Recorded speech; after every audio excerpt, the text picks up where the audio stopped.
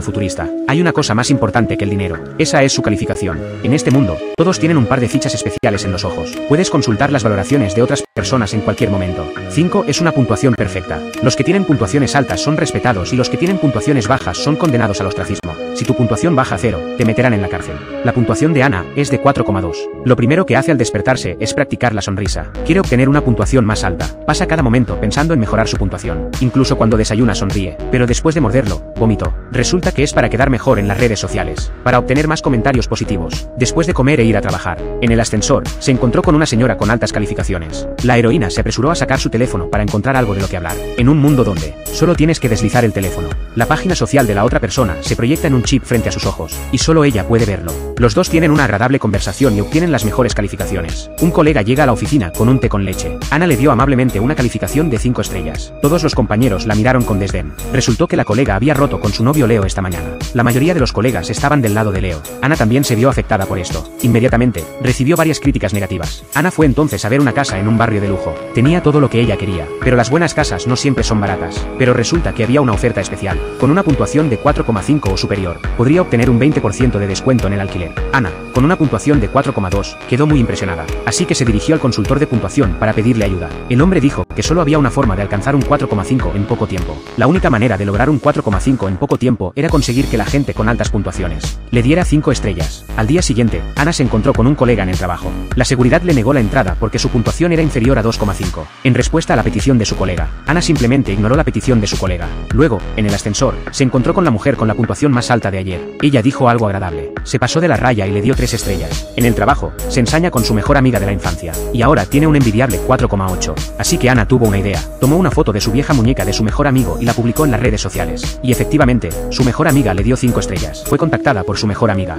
Resulta que se va a casar. Se va a casar con un hombre rico. Quería que Ana fuera su dama de honor. Todos los que estaban allí ese día tenían un 4,7 o más. La anfitriona dijo que sí. La llamada colgó. El hermano de Ana preguntó cuándo se hicieron tan amigos.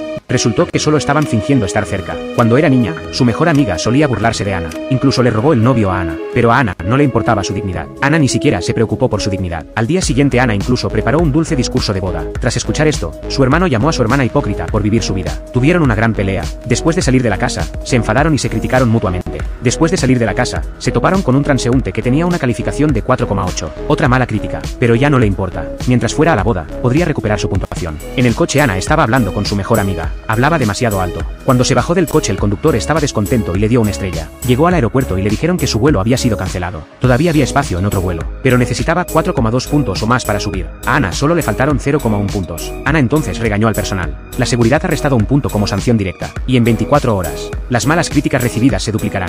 No se puede volar Ana tuvo que alquilar un coche, pero debido a su baja puntuación, Ana solo pudo alquilar un coche viejo. La batería se agotó después de unas horas de conducción. Encontró una estación de carga, pero el coche era demasiado viejo, no había manera de cargarlo. Ana se dirigió al personal en busca de ayuda. El tipo estaba viendo una película. Después de ser molestada, le dio a Ana una mala crítica. Desamparada, Ana tuvo que hacer autostop a un lado de la carretera. Pero en este momento solo tenía una calificación de 2,8 nadie le llevaría. Ana estaba a punto de rendirse. Entonces una mujer mayor con 1,4 puntos se detuvo. Le preguntó si quería que le llevara. A Ana le preocupaba que fuera una persona peligrosa. Al principio se negó, pero tras dudar un poco, se subió al coche. En el camino, la mujer habló de que tenía un 4,6.